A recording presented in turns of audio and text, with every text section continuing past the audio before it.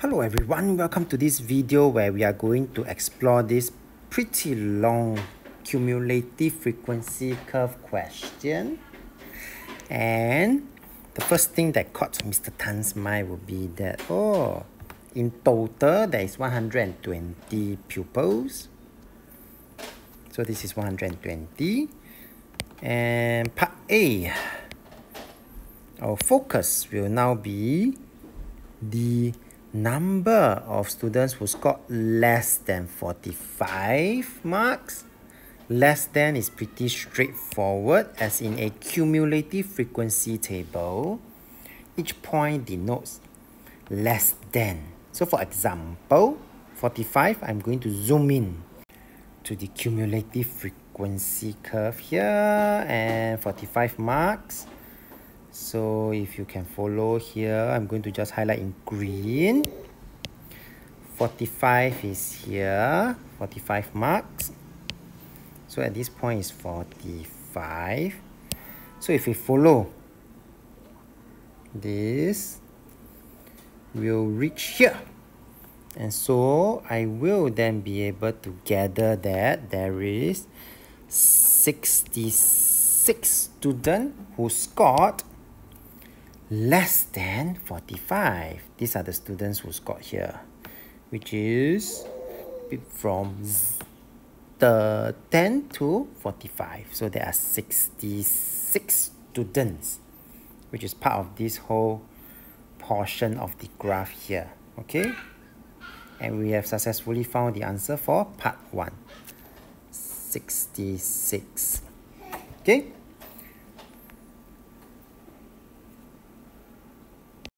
Hello everyone, welcome to part A, part 2 of this particular problem, which is this part here that I'm going to highlight.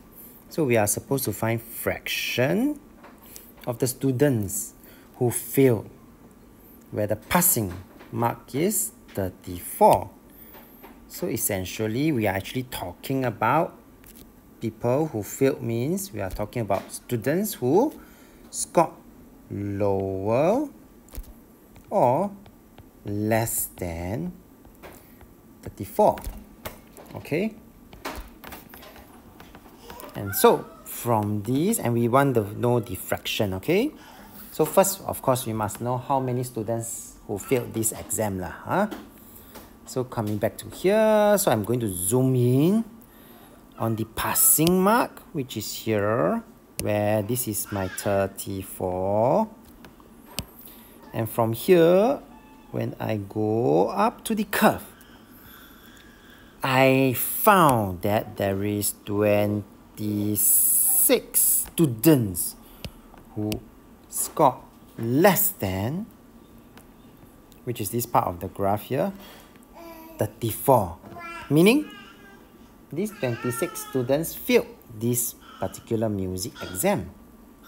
And so, you will see that Step 1, we must find this 26. After which the fraction, then we do need to take into account what is our total number of students, which is also found here.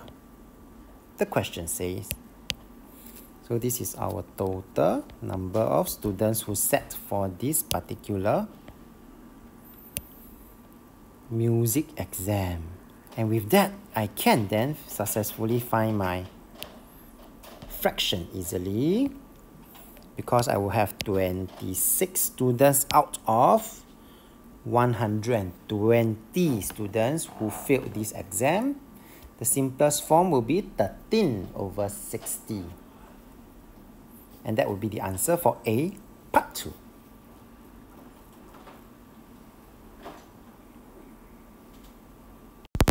Hello everyone, welcome to this part of the video where we are going to focus on A part 3.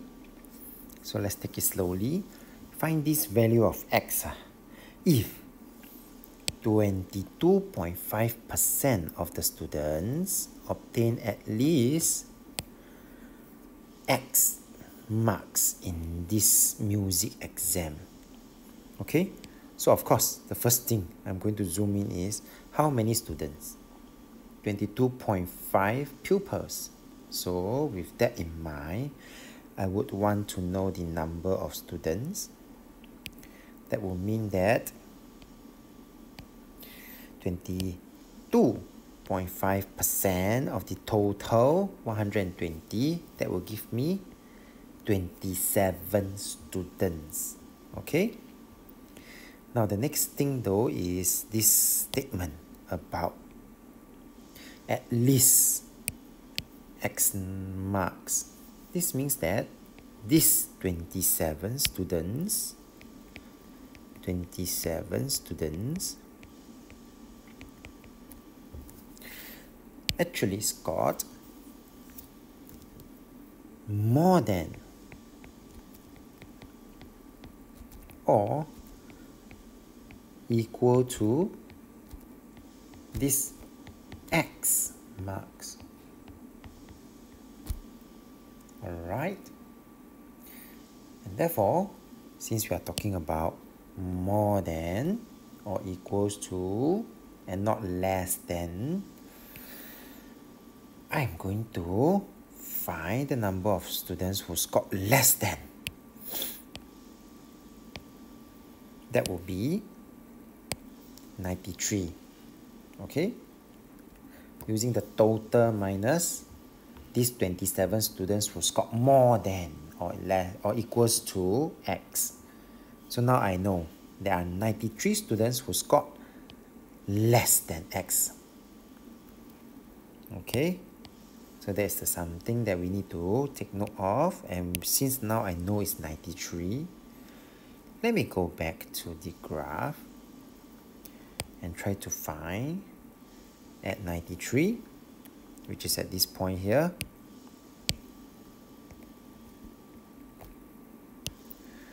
What is this X marks? So if you can follow the dotted line then you would then see that hey slowly I would be able to get my answer for x. And so at this point here, x would be 56 at this point. Okay, and therefore the answer would be 56. So what this means? What does this 56 means, right? Going back to this question. So this essentially means that there are 93 students which represents this part of the graph here. Okay, so this is war.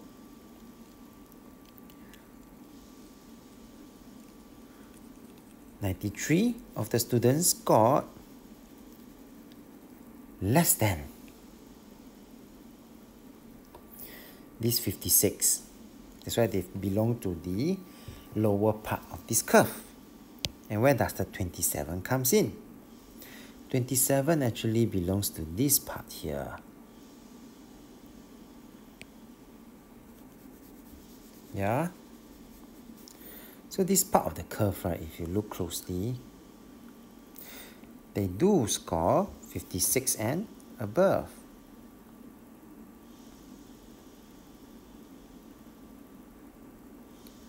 So where is this 27? So if I may, where is this 27? This 27 is actually here.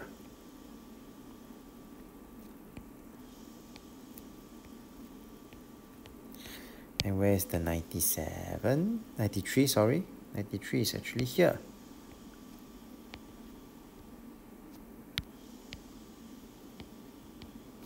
So total is 120 students, out of which 27 students scored 56 marks and above, which is at least 56 marks. And 93 of the students got less than 56 marks. And that is what this part 3 is actually asking for. Alright? Let's move on to the next part of this problem.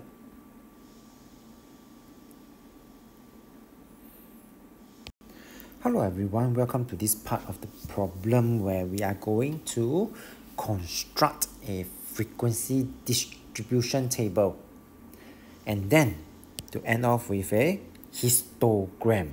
Hmm. So that is what we are going to do.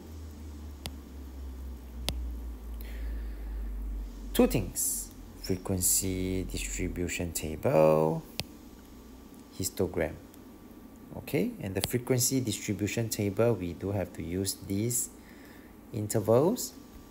So let's see how can we do it with a cumulative frequency table. Step one, we need to first of all construct a cumulative frequency table.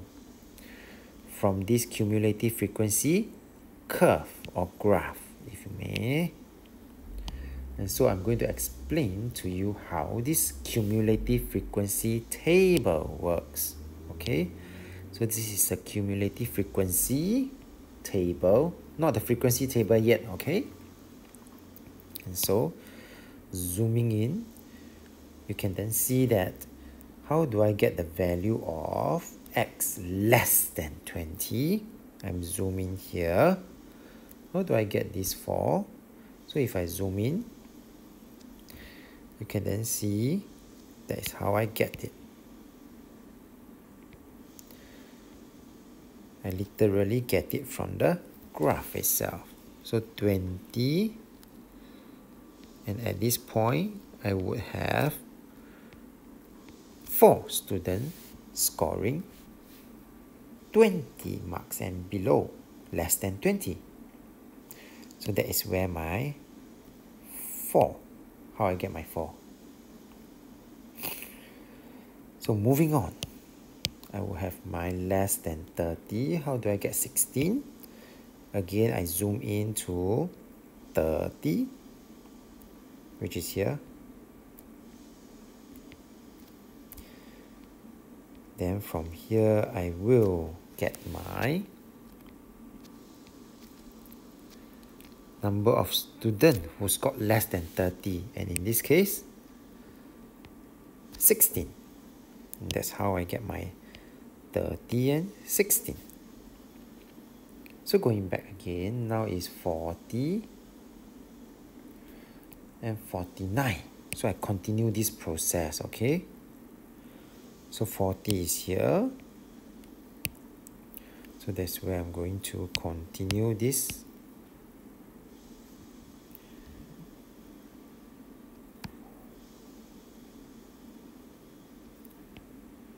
Way of finding things and eventually I will get ah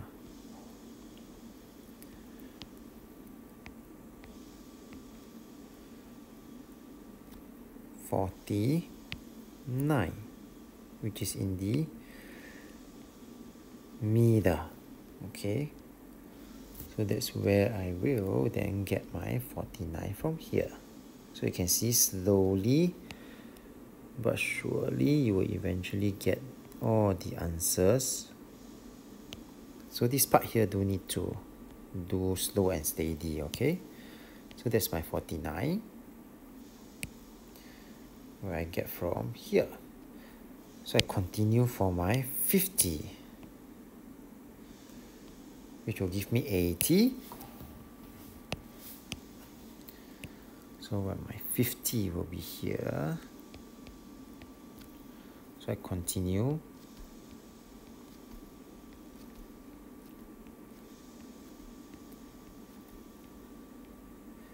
And indeed it will give me 80 continue for 60 which will give me 99 So as you can see slowly but surely we will eventually get all the values out.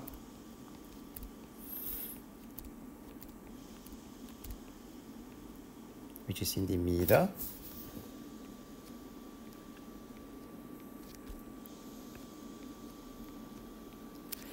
Ninety-nine.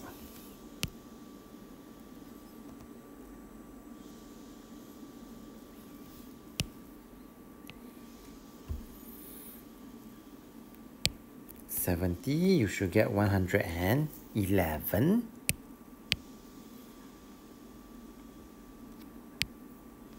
which is here.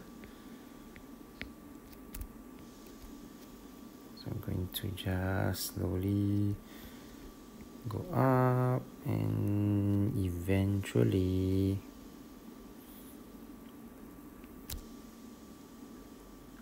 indeed it is in the middle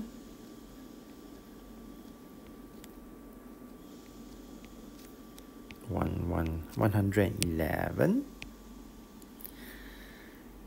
and of course, the last one usually is the total number. So this one I don't even need to draw from the graph itself. But if you really want to, 80 will be the last part here.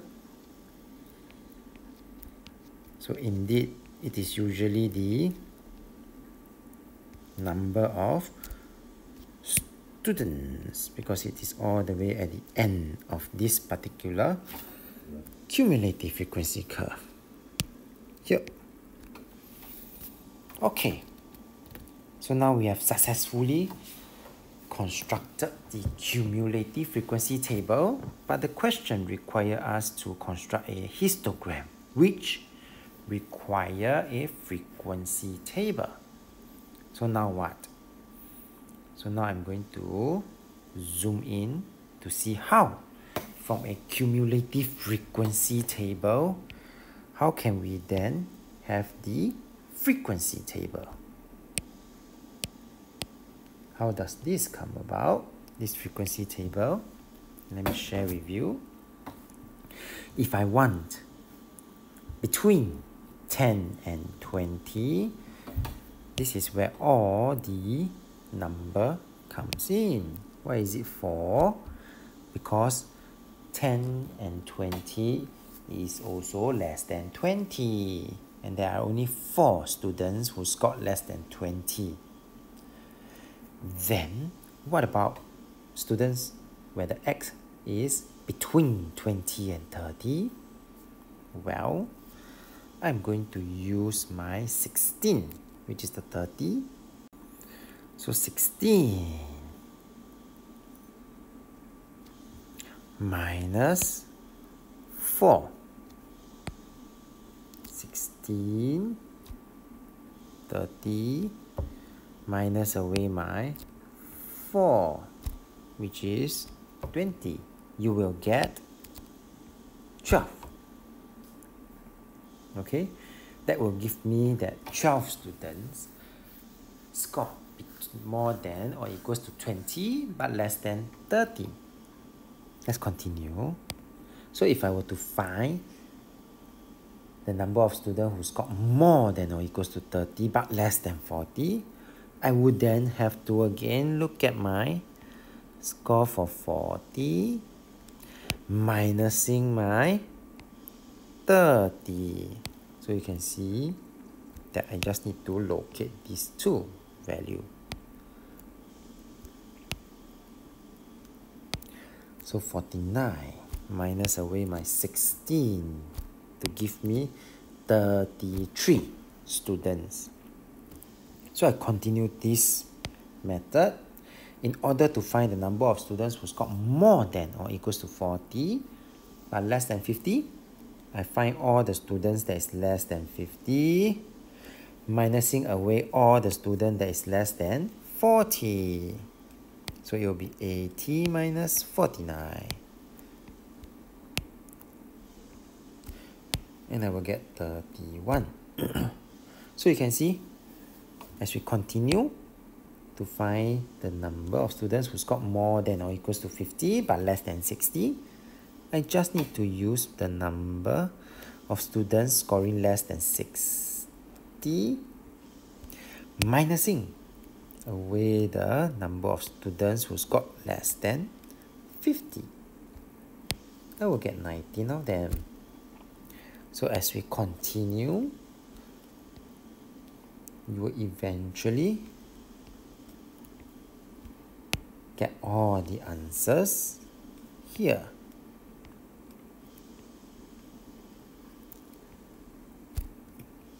And finally, 80.